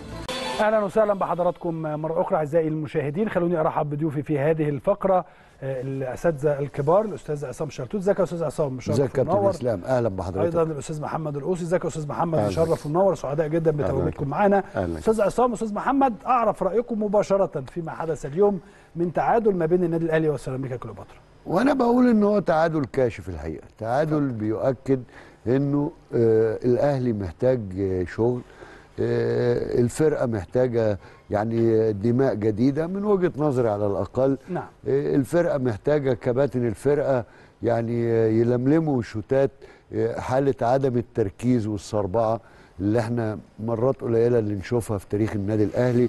كمان آه، لابد إن أنت آه، تبقى وأنت بتتفرج على النادي الأهلي متأكد إنه دي حالة ما كانش ينفع تدوم يعني وما كانش ينفع كمان إنك كده. أنت آه، تبقى بتتكلم عن آه، غلطة حكم أو كذا وطبعا رحمة لا بس الله. بس أصل ممكن الناس أنا لسه جاي. لك أنا لسه جاي لك أهو بس ثانية واحدة. بس طب. أكمل بس جملتي عشان ما تحسبش عليا. آه والنبي بسرعة. كابتن صالح قال لهم إحنا خدامين الحكام صحيح. في أحد الأجيال ولما حس إن ما حدش واخد باله قال لهم يعني بدل الجون ثلاثة وبدل ضربة الجزاء آه. خلي واحد يفرمك وشوف مش هتتحسب إزاي ده النادي الأهلي. وبالتالي ده لازم يكون مش هتقدر لأن الحكام من الآخر أو 80% منهم مش معاك. مش عايز أقول ضدك. حاجات كتيرة قوي. أنتوا عارفين يا لعيبة. فخلاص بقى الجمهور سبورت غير عادي يا جماعة. لا أحد. يجد جمهور كما النادي الأهلي. كمان خدوا من كلام الكابتن خطيب اللي قطع أجازته ورجع على النادي. علشان مزيد من الطمأنة وأعتقد إنه قاعد مع كابتن ال team ومع الخمسة ستة الكباتن قبل ما يكلم ال team على بعضه وبالتالي كل ده لازم ينتج عنه إن شاء الله إن شاء الله بصيص من إنه اللي حاصل ده مش هيفضل أيوة. مخيم على النادي الأهلي أيوة. خاصة وإن أيام ويناير يبدأ واللي أنا عرفته إنه الناس هتفرح وهتفرح كويس إن شاء الله تمام آه، طبعا كلام الأستاذ عصام هو أنا فاهم الكلام حضرتك ولكن مبدئيا حضرتك بتقول كده في ظل إن النهارده الأداء أفضل من المباراة السابقة ده على الأقل متفقين على الأقل إن اللعيبة بدأت أيوه تحس وحتى لو بنسبة إنه ما هي النسبة آه. النسبة ضعيفة بص في النادي عليك. في النادي الأهلي. وفي قناة النادي الأهلي لابد صحيح. إنك أنت تحترم الشاشة دي تحترم صحيح. الجمهور العظيم ده اللي فعلا يقدم. الغالي والنفيس وبالتالي يعني شوية بدأ يحس ما يصحش كده. الله ينور عليك. لازم برضه عشان يبقى إيه وفي نفس الوقت مش الكلام اللي الأستاذ عصام بيقوله ده معناه إن الحكام ما تدينيش حق. لا لا بأمارة إيه؟ لو أنا مغلوب. هو ماله؟ بالظبط كده مالكش علاقة. ولا إيه يا أستاذ محمد؟ لأنه بالطبع طبعا. يعني, يعني, أنا في النهاية يعني أنا آسف. في النهاية أنا اللي يهمني إن أنا كحكم أدي لل 18 فريق حقهم. ده على فكرة ليه؟ لأنه بالظبط الحقيقة ده يعني. بيعمل أنا آسف على الأقل ده بيعمل حماية للفريق ده. أنا مش جاي. هنا عشان يتضغط عليا. أنا عايز أتغلب كورة يا عم أنت مالك؟ اتفضل يا أستاذ محمد. آه، إحنا متفقين إن عندي مشاكل عندي أخطاء عندي حاجات احملها اللعيبة احملها المدرب. لكن في النهاية آخد حقي. ايا كان يعني. يعني النهارده آه، آه، ركلة جزاء لعلي معلول والحقيقة أنا يعني يمكن تواصلت مع خبراء في التحكيم. مش ممكن وأكدوا لي يعني أكدوا لي يعني البعض طالع بيتكلم بيقول لك ده التحام أو احتكاك. التأكيد والتوصيف بيحصل الدقيق عليا أنا كده. أنا التوصيف. أنا كنت بلعب في المكان ده يا أستاذ محمد. آه. مكان مكان محمد عادل لاعب سيراميكا كليوباترا. اللي هو خبط علي. آه. أقسم بالله اتحسبت عليا ثلاث أربع مرات. ال ال دي إعاقة. إعاقة واضحة وصريحة لا تحتمل الشك لكن ومع هذا ومع كل هذا إحنا لنا تحفظات كثيره جدا على النادي الأهلي اللي هو يعني الناس شايفة الأهلي في حتة تانية مش في الحتة دي صحيح. آه، آه، آه، يمكن نفس السيناريو يا كابتن إسلام اللي حصل في ال season الماضي نفس السيناريو بيتكرر بنفس الطريقة بعد ست جولات الأهلي عملها وحقق فيها ست انتصارات وجاب 18 point لما موسيماني كان ماسك الفرقة ب score بأربعات وخمسات وبدأ من ماتش فيوتشر وكان بالمناسبة برضه ماتش فيوتشر, فيوتشر. اللي الاهلي اتعادل فيه وبدأ يخسر إحنا اخر أربع مباريات الاهلي ست نقاط يعني ستة من 12 مستحيل الاهلي يبقى مقبول مظبوط. أو إن الأهلي يبقى فوضى. مش ده الأهلي اللي إحنا بنحبه مش. ده الأهلي اللي إحنا بننشده الأهلي فيه مشاكل فيه لعيبة ما بتأديش بشكل جيد فيه لعيبة صلاحيتها انتهت أنا آه، آه، الحقيقة مستر كولر مع تقديري ليه حيرنا يعني أنا مش عارف إيه التشكيل اللي بيلعب بيه النادي الاهلي. في تغييرات كتير جدا بتحصل في التشكيل. يعني مثلا واحد زي شادي المرة ال- ال- المباراة الماضية مش موجود المباراة دي بيلعب أساسي. محمد شريف كان بيلعب أساسي قاعد على الدكة. يعني أنا نفسي أعرف من هو المهاجم الرئيسي بتاع النادي الأهلي. الأهلي عنده مشكلة كبيرة جدا في الشق الهجومي محتاج النادي الأهلي مهاجم من العيار التقيل عشان يقدر يساعد الفريق ويقدر. خلي مش معقوله يا كابتن؟ التفكير القادم لأنه حتى الراجل النهارده قال حتى أنا لو هجيب صفقات هجيب صفقات تبقى افضل من الناس اللي عندي. ما- كويس جبتش- إنه قال ما إيه؟ ينفعش كويس يعني النهارده. لأن دي أكدت إنه لما. ما اختارش وهو لسه جاي لأنه كان عايز يشوف الأول. بالظبط. يعني أنا النهارده لما النادي الأهلي 73% استحواذ على مدار المباراة ممكن. آه، آه، هاتوا لنا 20 الإحصائيات تاني. 20 غارة هجومية على المرمى مقابل ثلاث غارات أو أربع غارات لسيراميكا 15 ركلة ركنية مقابل ركلة يبقى, ركنية. يبقى المشكلة فين؟ ركلة ركنية واحدة لسيراميكا يجي منها جون آه، في حاجة غلط في حاجة محتاجة تتصلح في فيها آه، حاجة من اللعيبة على حاجة آه. في الكاتشانه لأنه أنا مش عارف إزاي. اللعيبة دي لما لا، يلاقوا بتوع سيراميكا في تركه إن كلهم يقفوا على الخط سيبوهم هم والشناوي على قد فهمي في الكورة وشغلي فيها 40 سنة سيبوهم كلهم على الخط هيرجعوا تاني لكن أنتوا عاملين زي ما تكونوا حطيتوا الشناوي وادالي عليه قلاب رمل. بص يا كابتن قبل ما تتلعب اللعبة دي أنا ح- في 10 واقفين في حتة كده والشناوي طب ما هو الشناوي مش هيقدر يوصل. يعني أكيد ليها حلول ودي ليها حلول في التدريب لا والحاجات بس دي دي كلها. خلي بال حضرتك أسهل حاجة في كرة القدم. لعيبة. أسهل حاجة في ما أنا عشان كده بقول لك أسهل حاجة في كرة القدم يا أستاذ محمد يا أستاذ وحضراتكم أساتذتنا في هذا الأمر. العفو. آه، ال- الكرات الثابتة. ليه؟ لأن أنا المدرب بيقول لي إيه؟ راقب آه امسك عصام. اسلام مع عصام. وعلي مع محمد. وحسين مع, مع وخلصنا. وخلاص فواضحة يا أستاذ محمد. ومعروف الكرة جاية منين؟ يعني الكره كورنر معروف إن الكرة جاية من هنا. هتطلع من هنا. ما فيهاش مفاجآت. غير مثلا لما واحد يرفع أوفر وهو بيجري. غير لما واحد بيرفع فاهم حضرتك فأسهل حاجة بالنسبة للمدافعين هي الركلات الثابتة. ده حقيقة يعني دي فأنا عشان كده بقول لحضرتك إنه لا يعني الموضوع في ال- في الأمر ده لا. ده غير كده يا كابتن إن أنا برضو النادي الاهلي ما بيستفدش من ركلات السبت. 15 ركلة ركنية صحيح. ما استفدش منها ولا بمناسبة- ركلة. بمناسبة الركلات الثابته 16 ولا الراجل عامل لائحة خاصة. اللي الركلات يجيب. منها. إيجابية. طيب أنا كمدير فني شايف إن أنا عندي تقصير في الحتة دي. فعملت إيه؟ عملت لائحة بمرنك عليها وعملت لائحة تحفيزية علشان لما يجي جون منها حضرتك تتكافئ بص يا كابتن آه. في ولو دخل فيك جون بكده يتم الخصم في حاجة منك. مهمة طب أنا. أعمل إيه تاني في حاجة مهمة كمان لازم تتعمل والله يا أستاذ محمد. الراجل أنا شفتها بعينيا. الراجل شغال على ثقافة اللاعب وعلى ما يبدو إنه فكرة آه، نصف احتراف اللي كانت شغالة مع احترامي للأسماء اللي كانت قبل الراجل ده لأنه مش ممكن ابدا نيجي بقى دلوقتي كمان ونقول كولر يعني إيه؟ لا كولر جاي من أوروبا طازة وأنا قلت كده مع صحيح. حضرتك. بمعنى إنه عنده اليوم الكامل. اليوم الكامل مش مقنع لثقافة اللاعب المصري. الراجل بيقول له أنت هتيجي من يومين كنت في النادي. وما ترتبطش بمواعيد. من يومين كنت في النادي دي يا مشكلة عصام يا أستاذ بالنسبة. للاعب المصري يعني إيه ما يرتبطش مواعيد ما يروحش من يومين ما كنت في النادي. فماشي 8 ونص 8 8 ونص كده من هناك من النادي. والتمرين ده كان 9 الصبح اليوم آه، ده يعني. آه. فلقيت الراجل وأنا معدي كنت رايح باب المعلمين. فماشي من هناك كده لقيت الراجل طالع. فانا عنده شغل إيه؟ قال لي معايا كنت عندي شوية حاجات كده وبتفرج على الماتش ومش عارف بعمل إيه والفترة اللي جاية كذا و- يعني اتكلمنا في حاجة تخص كرة ال- النادي يعني فرقة يعني الساعة 8 ونص بالليل يا كابتن وهو مخلص. الساعة 11 ونص الصبح خلي بالك. يا كابتن عنده شغل لأن هم بره وحضرتك أكيد عارف والقوسي عارف الناس بتروح زي الشغل الموظف مش وظيفي زي ما إحنا بنقولها روتيني. صحيح. بيروح الصبح زي كل العاملين المدير الفني. تمام. وبعدين بيخش اللعيبة اللي فطر أو هيجي يفطر وبيقضوا اليوم حتى لو ما عندوش تمرين الراحة في استراحة اللاعبين. أنا رحت لحقت حمادة صدقي كان في معايشة في لندن.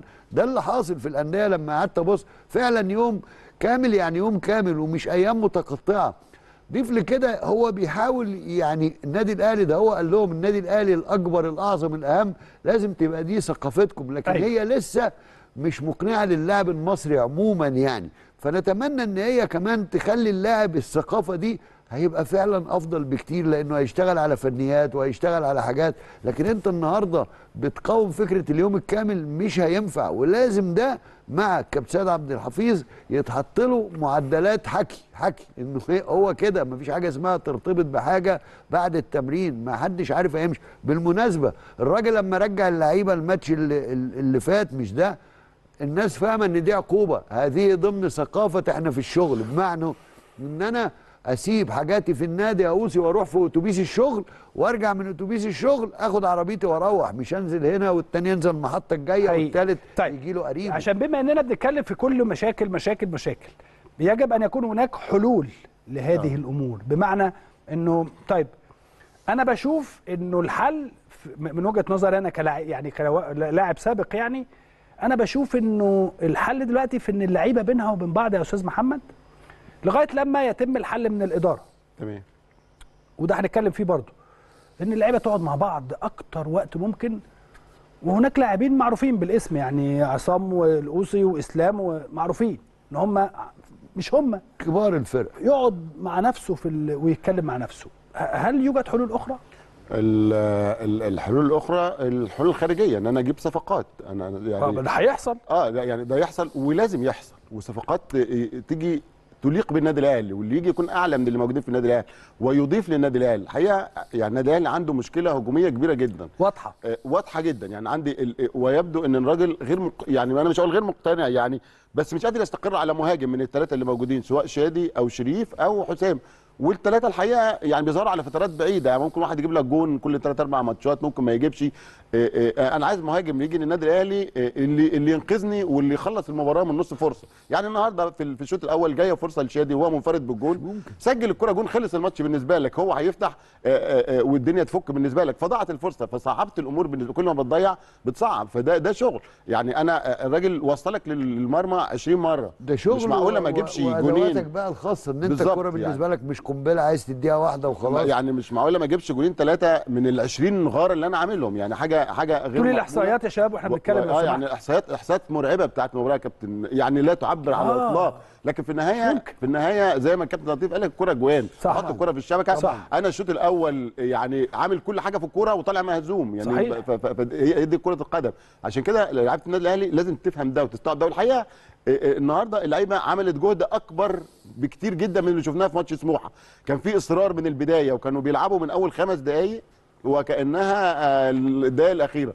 فاللعيبه لعبت ال- ال- ال- ال- ال- ال- الدقائق كلها يعني شوف ال- ال- ال- 15 ركنيات الاحصائيات اهداف واحد واحد 73% استحواذ اوسي تمريرات صحيحه نسبه 612 239 تخيل 84% آه حد بص آه، 36 عرضية لا ثلاثة حول الله. ركنات 15 36 واحد. 15 يعني واحد. بتتكلم وبعدين؟ بتتكلم في إيه؟ زي ما حضرتك بتقول وبعدين؟ بس وبعدين بعدين يبقى آه، لازم الأهلي خلاص ما- ما ما قدامكش حل انك لازم تشوف حلول في لعيبة كواليتي أعلى من اللعيبة اللي عندك.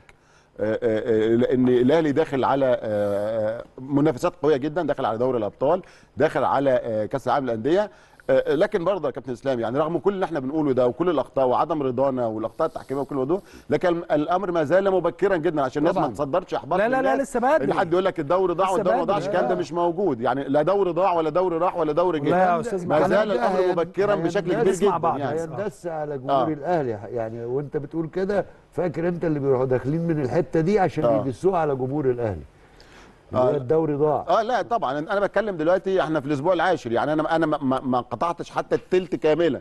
أنا لسه بقى قدامي 24 أسبوع في الدوري. آه تعثرت في بعض النقاط لكن آه لابد أن ألم نفسي وأعوض وأقاتل وأصر على إن أنا أحقق الهدف. وخلي زي ما أنا كنت وراك جمهور الحقيقة جمهور النادي الأهلي النهارده بعد المباراه. قاعد بيشجع الفرقة.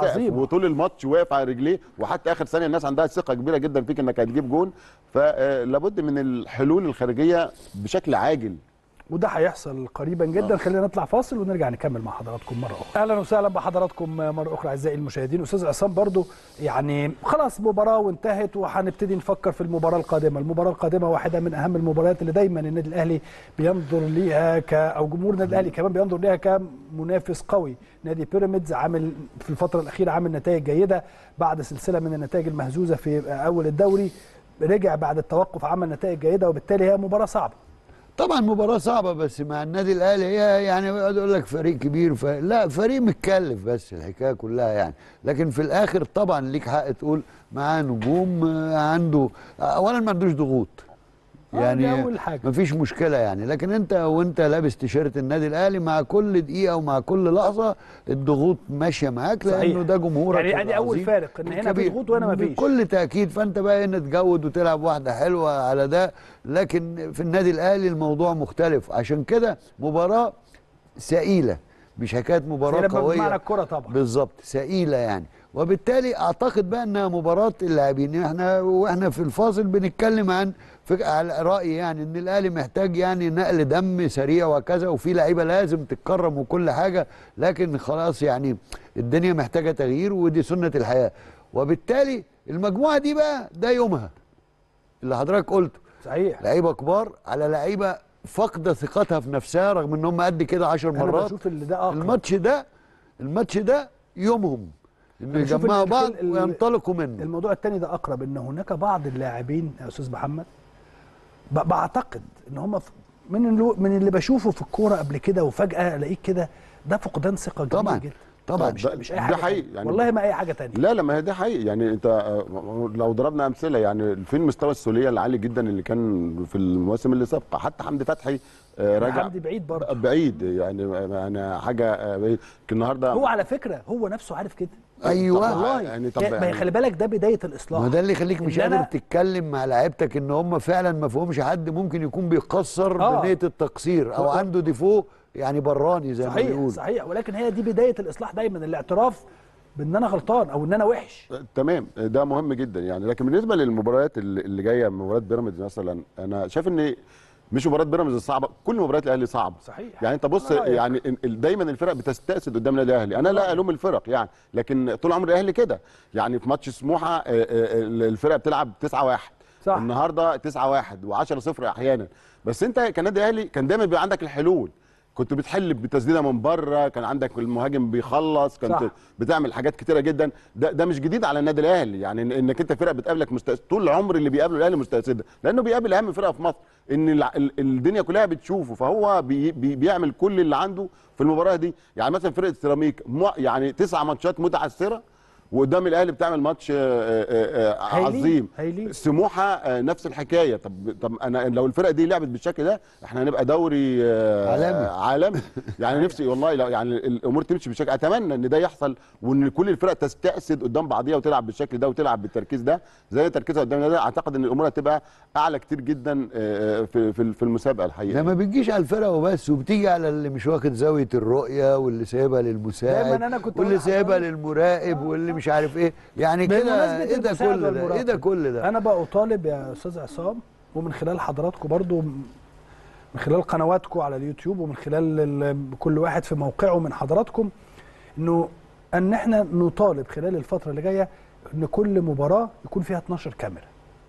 أهم ولا كاميرا يعملوا حاجة أنا سامع حضرتك. عارف ليه؟ اولا مساحات وضع الكاميرات مش موجوده هي مش كاميرات هي هو أنت عارف الكاميرا مان هات لي اللقطة تانية يا سمير اللي إحنا شرحنا عليها لو أنا سمحت. كنت متابع. إحنا عندنا مشكلة. اولا ال version ده اللي شغال أول الفار وضع للناس. ده بجد ده مش هزار. عامل زي الراديو اول راديو وضع في التاريخ. والله بجد. بعديه أربعة. أربعة version أربعة؟ version آه، يعني آه. خمسة. يا نهار أسود. تمام؟ يعني ده واحد ودول خ... واللي شغال طيب، دلوقتي خمسة آه جمله. اعتراضية يا أستاذ لك. الكلام ده بره مصر يعني آه آه. تمام الكلام ده معناه يا كابتن معناه إن في أهداف من تسلل ممكن تتحسب طبعا. وأهداف يا صحيحة ممكن ما يا تتحسب أستاذ محمد تتلغي. أستاذ محمد يعني أنا الكرة زي دي والله ولا حكم ولا خبير تحكيمي قادر يقول لك هي offside ولا لا هيقولها إزاي إذا كان ليه؟ في الآخر دول بيترسموا؟ بالإيد لكن لو هنا واحد واقف ورا حكم المباراة ال line man اللي مساعد ال- مساعد الخط اللي على اليمين ده آه في, أوروبا وفي الدول المتقدمة بيحصل كده ما ديك قلت اللي أنا قلته ما هي الحكاية مش 12 كاميرا هيتحطوا فين؟ ماشي بس هو عايز كاميرا عايز كده الحقيقة محدش يعني. يعني- معترف يا أوسي بالأماكن. الأماكن دي بره شفناها في الملاعب يا أستاذ. واوسي يا كابتن إسلام محددة محددة. كاميرا كذا كاميرا الاستاد كذا. مبني على أساس إن الكاميرا أس- هتبقى هنا. بيتحط البتاع بتاع القواعد بتاعتها دي. الحاجة الثانية إن ال version اللي شغال يا كابتن في شنطة زي بتاعت حسام دياب ربنا يديله الصحة لما بيبقى مسافر معانا ومعاه شنط كبيرة كده. آه. آخر version هو ده مش بقى حاجات بتيجي بعربيات نقل وبتاع. تخيل. تخيل. لأنه no أنت بتقولي واي معلومة إن في فر... في أربعة version يا باشا طبعا موجود. يا باشا آه. طبعا وحاسبوني. لا أنا مش. أنا بسألك. لا يبقى أنا لا بقول لا لك دي. موجودة. وحكام طلعوا أكدوا الكلام ده يا كابتن. يعني حكام نفسهم يا كابتن أكدوا أنا ال- النهاردة هو أنا كل اللي مطلوب إن في كرة زي دي لو في اتنين كاميرات ورا الاثنين حكام مساعدين وكاميرا ورا الجون محدش فينا هيقدر يقعد يتكلم القعده اللي إحنا بنتكلم فيه ده هتحسم. هتحسم بس ولا لا؟ بس هتحسم الأخطر يعني. حتى لو موجودين لا زال بيرسم بإيده نقطة آه، بالظبط الالتقاء كده. آه، دي كارثة يعني. دي كارثة أنا مكلم اتنين حكام عرب النهارده لكن استحلفوني بالعيش والملح ما أجيب سيرته قالوا لي عيب اللي بيحصل ده عيب اللي بيحصل ده كده نصا أكنهم متفقين اتنين حكام كبار هم الآن بيشغلوا يعني مناطق تحكيمية عظمى يعني واحد في بلده وواحد في المنطقة العربية قال لك عيب اللي بيحصل عندكم ده إحنا مش مصدقين خلاص بقى هتسأله تقول له إيه طب ده بياخدنا يا كابتن اسلام إلى هل منظومة التحكيم اتغيرت أو حصل فيها تطوير بعد ما استعنا بخبير أجنبي؟ هل. التحكيم اتطور؟ هل الأخطاء قلت؟ هل ال- ال- الفرق خسرت على حقها؟ الكلام ده ما حصلش بل إن معظم المعلومات اللي طالعة من جوه ويمكن آخرها يمكن في استقالات حصلت داخل لجنة الحكام استقالة محمد فاروق تامر وتامر دجيش والحاجات اللي حصلت. آه يعني. في حد يستقيل ده دليل على. إن الأمور الأمور مش مظبوطة ولم يحدث أي تطوير بل بالعكس في أخطاء كارثية. يمكن لسه طب كان خلاص يبقى نرجع بقى كابتن عصام عبد الفتاح يمسك. ما ما إيه؟ ما يرجع كابتن. هي بقى يعني ما هو إزاي؟ إذا كان يعني أحمد- يا كابتن ما هو إيه اللي حصل دلوقتي؟ طب ما هو اللي أنا اللي جبته إيه اللي أضافه على الكابتن عصام؟ هل عمل تطوير على الكابتن عصام؟ بالعكس رجعت كان أحمد. أبو كابتن عصام هيمسك التطوير اللي في تونس اللي أنا 80% سمعته. من الشكاوي منه أحمد أبو العلا رجع تاني يا جماعة. يا- بتتكلموا في إيه؟ والله؟ أيوه. رجع مش عارف في وظيفة منصب محل أنه حاجة في كده. منصب إداري. آه، محل أنه. آه لا موجود آه، في منصب إداري.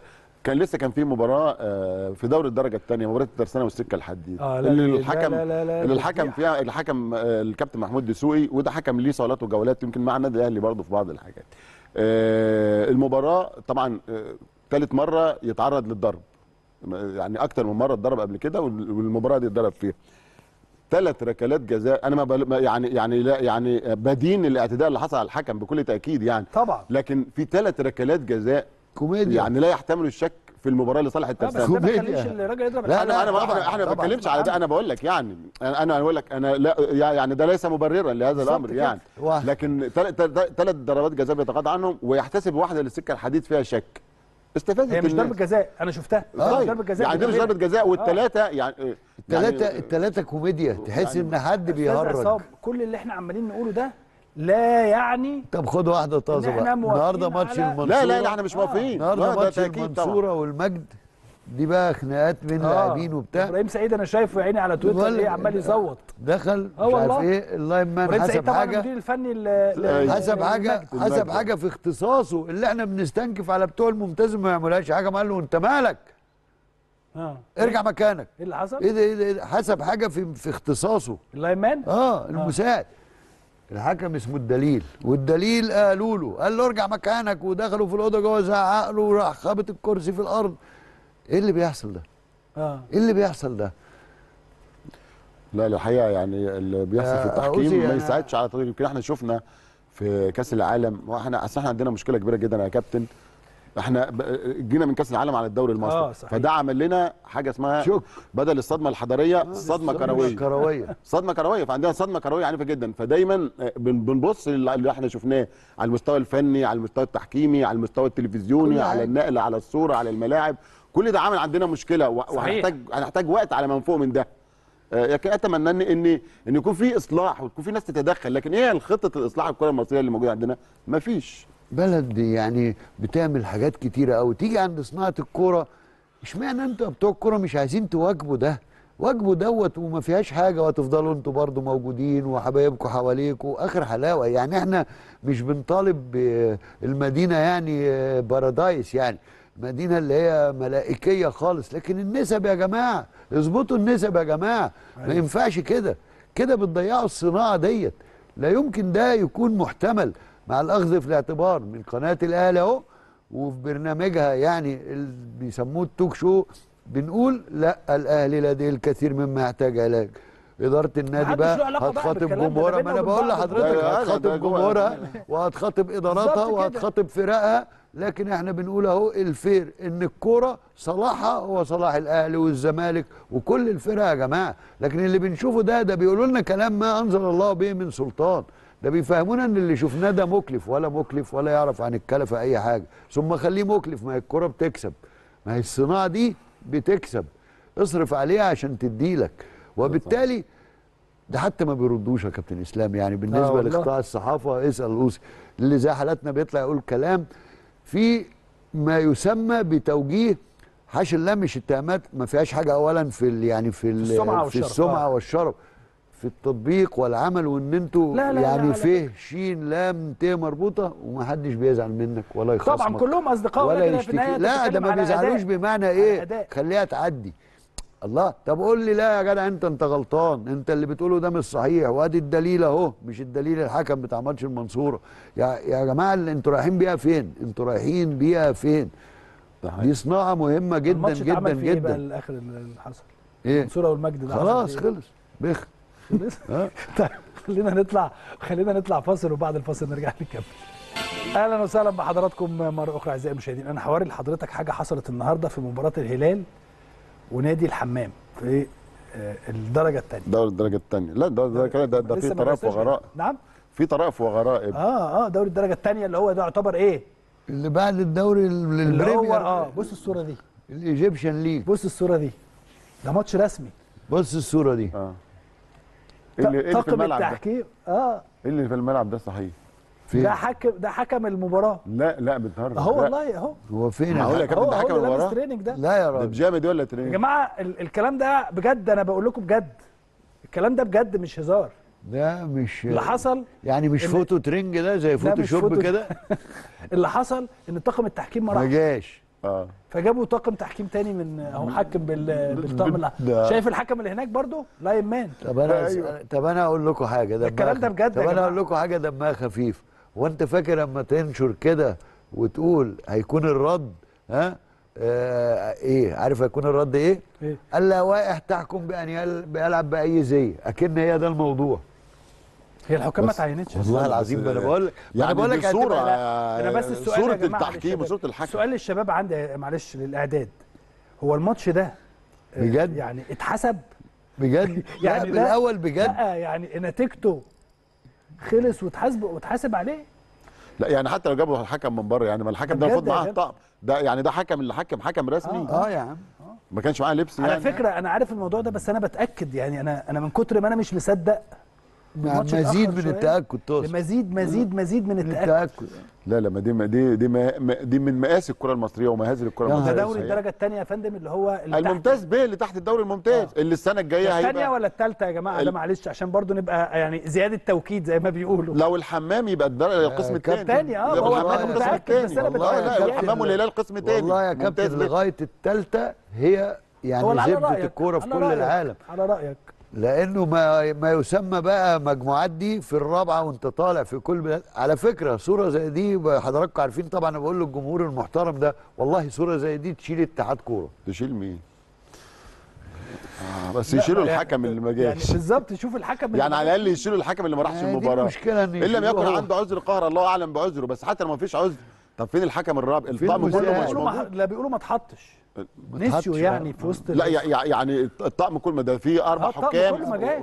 عشان ما جاش. بس ما تزعلش. انت قلت كلام انت. قلت كلام رسمي بالمناسبة آه. عارف إيه هو إيه هو؟ من أسبوعين ثلاثة حصلت مرة في دوري الدرجة الثانية ده ومرة في ناشئين آه لا ده من فتقال لي فترة، أنت آه، عارف آه. لا ده من, قال من لك إيه؟ أسبوعين ثلاثة آه. قال لك اصلها بتحصل عادي يعني ما تبلغوش حكام بالماتش من أساسه يعني الراجل بنى إنه مش هيقول إيه تعينوا وما راحوش. قال لك لا بتحصل. بتحصل عادي. مناطق ساعات حد قال لك رد عليك قال لك كده. بس زي ما بقول لك ممكن يسيب كل حاجة يقول لك لا من حقه يحكم بترنج. بردان يا أخي أنت مالك؟ آه والله. بردان يا أستاذ عصام. يا كابتن أنا بقول لك يا ما أنت فاهم. إحنا ممكن بنحاول نقول لك كده للناس الردود هتبقى كده. حكم يقول لك. ولا كهربائي ولا بيعرف في الكهرباء. عارف أنت النكت دي؟ أنا شغال مدرس فرنساوي لغاية لما مدرس يجي- جيب مدرس تاريخ لا لا يا مدرس جماعة تاريخ لا, لغاية لما مدرس التاريخ يجي. حرام والله. عموما آه، أمور كثيرة جدا بنشوفها خلال هذه الفترة يا أستاذ عصام. يعني نتمنى طبعا إن إحنا بناخدها بروح الفكاهة. والله بجد عشان إحنا بجد إحنا يعني دمنا محروق جدا اللي إحنا بنشوفه ده. لا حقيقة. وإحنا يا كابتن إسلام يعني مصر ما تستحقش المنظر ده. وما تستحقش مناظر كتيرة جدا هزلية بتحصل لا على في الدوري الممتاز ولا في ال- الدوري القسم الثاني يعني آه. برضه في مشاهد بنشوفها في الدوري الممتاز مع الحكام واللعيبة. مشهد. مشاهد كارثية يعني. مشهد أهو. يعني كان في ماتش الإسماعيلي الأخير والمصري لاعب. المحكم واقف مع مع مدرب بي- بيعاتبه وهيديله انذار. يجي له لاعب يقول له يا عم سبك منه وتعالى عشان نلعب المباراة. طب هو ده في كده في الدنيا يا جماعة يعني ده بيحصل في دي والمشهد ده بيمر عادي والأمور تمشي بالشكل ده يعني مشهد يعني مشهد لا يليق على الإطلاق الحقيقة يعني اهو يا. عم رحت اهو معاك أنا ما رحت ما- يعني- يعني حاجات بتجيب بعضيها إيه؟ يعني. حاجات بتجيب بعضيها وشوية يقول لك إيه، يا جماعة أنتوا مركزين مع الناس كده ليه؟ يعني إيه مركزين مع الناس؟ ده شغلنا على؟ فكرة يعني آه، لا، ان إحنا لما نشوف تريننج في الملعب نسأل ده بتاع إيه عموما ما هنكمل نسأل ده بتاع مين؟ لا يكون برضه متاخد سلف. آه. عموما خلينا نطلع فاصل أخير ونرجع نكمل مع حضراتكم. أهلا وسهلا بحضراتكم مرة أخرى أعزائي المشاهدين. أستاذ عصام خلينا نتكلم بقى بشكل عام عن الدوري الممتاز هذا الموسم. إيه رأيك فيه؟ تمام الحمد لله. تمام؟ طب إيه رأيك؟ خلاص أصل يا كابتن رأيي فيه رأيي فيه حاجة بصراحة اتفضل. مش على مقاسنا ومش شبهنا ولا حتى ربع في المية آه. من من الأشياء التي نرى فيها إنه ده على حجم المحروسة العظيمة ده يا كابتن.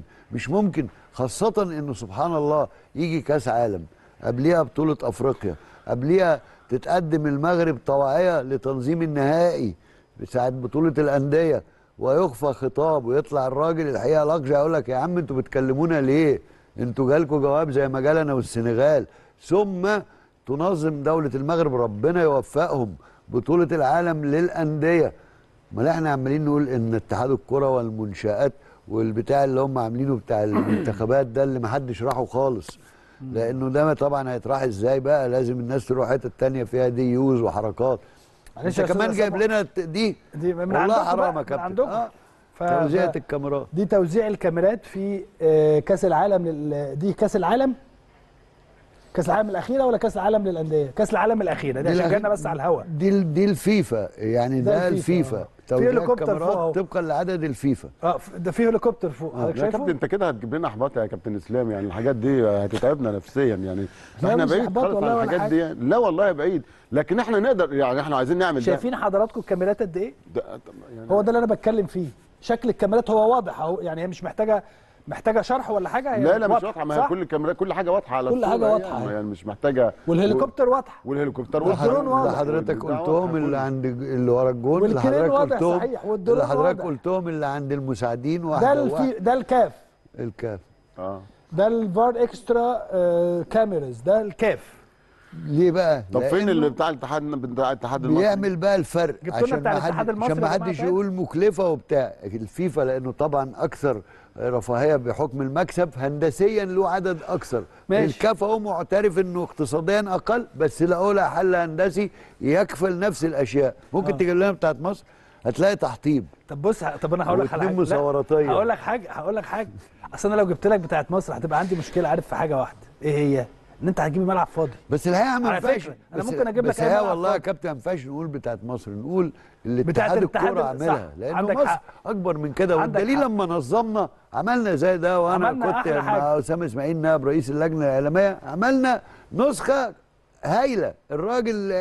رئيس كأس الأمم الف- الأفريقية، أنا بقول. لك رئيس الفيفا مش هيجامل قال لك أنتم أحرجتم من سيأتي بعدكم غير الثلاث شهور في الميزانسيل اللي اتعمل بكاميرات وبكله بمصريين يا جماعة واسأل حضرتك سمير وكل المخرجين أصحابنا والناس دي. لا لا حاجة كانت عالميه على الشركة رأيك. الأسبانية بتيجي هنا تتفسح سياحة لأن دي م... لازم كل البطولات حتى لو في كأس العالم في ألمانيا برضو الشركة الأسبانية متعاقد معاها الفيفا وبالتالي الكاف. بيجوا هنا من أكثر البلاد اللي بيجوا أكنه جاية إجازة. صحيح. من كتر ما عندك مصر بقى عندك بقى كل حاجة بتتعمل وعندك رجالة على أعلى مستوى. صحيح. اتحاد الكورة بيعمل كده ليه؟ بيعمل كده ليه؟ أنت واخد مقاولة تغرقنا. آه على رأيك والله. غريبة يعني. رأيك. عموما يعني نتمنى خليني برضه آخد رأيك يا أستاذ محمد في في الدوري العام السنة دي. هل حضرتك شايفه آه، مختلف عن ال- السنين السابقة؟ من الناحية الفنية بس عشان ما نروحش في نواحي أخرى. البدايات كانت كويسة جدا الحقيقة يعني لغاية قبل كأس العالم كنا شايفينه حلو قوي وكان جميل آه. لأن أنت ما شفتش. فكنا مستمتعين جدا بيه وكانت الأمور كويسة ومتوقعين موسم جامد جدا وكبير. لكن الحقيقة أنا زي ما قلت لك حصلت لنا صدمة كروية بعد اللي شفناه في كأس العالم. حتى الناس كلها دلوقتي يعني في ناس كتير جدا تقول له بتتفرج على ماتشات الدوري لك لا ما بتفرجش على ماتشات الدوري بعد اللي شفته في نهائي كأس العالم. ماتش النهائي بس يعني. مش قادر يعني آه، يشوف يعني. ف انت محتاج تطوير كبير جدا في الصناعة دي. دي أنت بتعتبرها صناعة بالمليارات. دي ما صحيح. تصرفش عليها عشان تعملها. ثانيا أنت عشان تقوي الصناعة دي رقم واحد اللي نجح كأس العالم في قطر الجمهور. الجمهور بالدرجة الأولى. مفيش كورة من غير جمهور. حقيقي. أنا دلوقتي عندي معظم المدرجات فاضية باستثناء ال 3 4000 اللي موجودين في ماتش الأهلي والزمالك. لكن آه، في ماتشات يعني تلاقي مثلا ماتش فاركو وسيراميكا بيلعبوا مع بعضيهم. مفيش 15 واحد موجودين في المدرجات. ده عدد كبير جدا.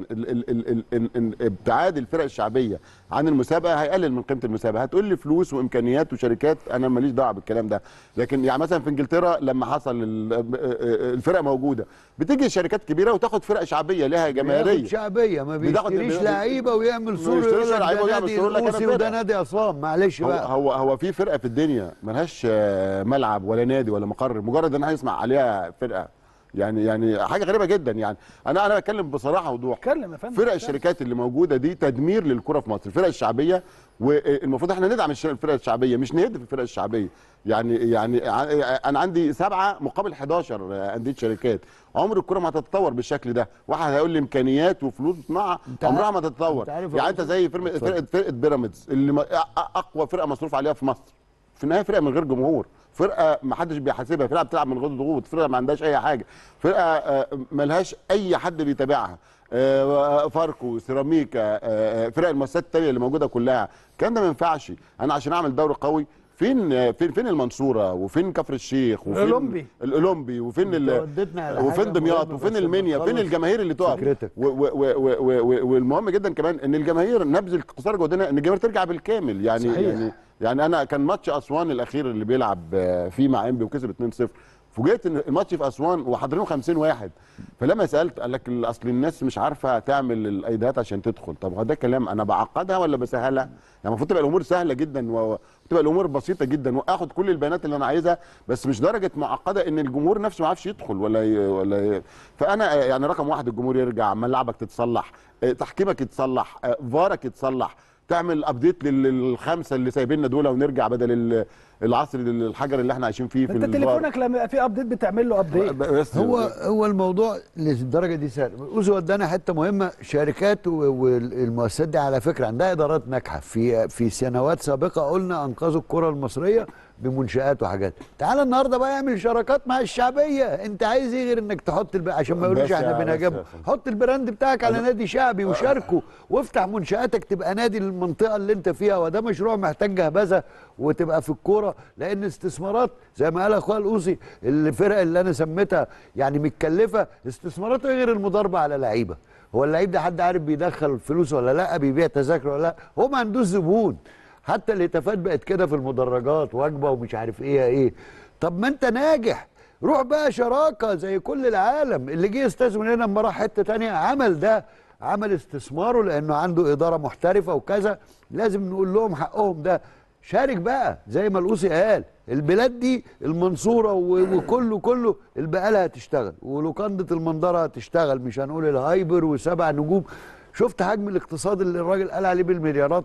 هو إحنا جهابزه ده موضوع طبيعي جدا بيحصل في كل العالم. كل الفرق يا اوسي اللي دخلت بتمويل راحت اشترت أندية شعبية في. إنجلترا في أمريكا. في أي حتة. بيروح يشتري النادي الشعبي اللي هو اسمه شركة هو اسمه شركة يعني هو ينفع إن شركة مياه غازية كان طالع لها فرقة رايحة الدوري الممتاز يا جماعة طب واشمعنى عملت في مصر وما اتعملتش في الدوري الإنجليزي يعني. هم مش قادرين يعملوا فرقة في الدوري الإنجليزي ويطلعوها بس هل. الدوري الإنجليزي يقبل إن شركة مياه غازية تطلع ولا شركة أدوية تبقى مستحيل. موجودة مع احترامنا وتقديرنا إحنا ما بنغلطش في حد إحنا بنتكلم على صالح ولا العام موجود ولا, ولا. دخان يا راجل ده كلام عارف عارف يعني ترجمتها يا أوس يمكن إحنا بنحكي فيها اما بنلتقي كأصدقاء يعني يعني إزاي الرعاة يلعبوا كورة؟ ما ينفعش يا جماعة. وبالتالي غريبة انت يعني. عندك حاجة مهمة في المغرب الرخص حقيقية عشان اللي بيسالوا على رقجع اللي كانوا عايزيننا نتخانق معاه وبيشتغل لبلده. إحنا نتخانق معاه ليه يا عم؟ إحنا عايزين حاجة كده. الرخص زي ما هي كل الشركات اللي راحت والمستثمرين شاركوا الأندية الشعبية. ثم بقى في فريق واحد اسمه الجيش الملكي المغربي. عارف ليه؟ لأنه المغرب زي حوالي 12 دولة حول العالم إحنا منهم والمغرب عندها اللي هو ال- الخدمة الوطنية. فبيعتبر إن جمهوره مين؟ حالة الترفيه بتاع الشؤون المعنوية للجنود. يطلع يوم الماتش بقى بقى عنده جمهور. لولا كده ما كانش لعب هو كمان. تخيل كل حاجة منظمة لدرجة إيه؟ حاجة يعني ده صعب يا منظمين كابتن. كل حاجة. يعني أرجوك ده صعب. وبقى في الشقيقة المغرب. هو ما قلناش بقى ألمانيا ولا حاجة. ناس شبهنا وإحنا كده شبه المغرب ظهرت بهذا المستوى بهذا. المغرب بقى بالمناسبة آه. سنة 57 أول فريق اتكون بيلعب مباراة مع مين؟ مع الكونغو كان الزئير وقتها وإحنا كنا واخدين بطولة أفريقيا. أول فريق يعني كانوا بيحتفلوا بتكوين أول فريق وطني مغربي. أول مرة يبقى عندهم منتخب. هذا وبالله ال- التوفيق. ال- التجربة المغربية تجربة التجربة المغربية في رائعة. الرياضة أعتقد إن هي تجربة رائعة جدا. نتمنى أن نستفيد منها خلال الفترة الجاية. أنا بشكرك جدا يا أستاذ عصام. شكرا يا كابتن. بشكرك على تواجدك معنا النهارده. أنا بشكرك جدا يا أستاذ محمد على تواجدك معنا النهارده. أنا بشكر حضراتكم شكرا جزيلا. كانت هذه حلقة نهاية الأسبوع. إن شاء الله التقي مع حضراتكم يوم الأحد القادم وحلقة جديدة من البيت الكبير.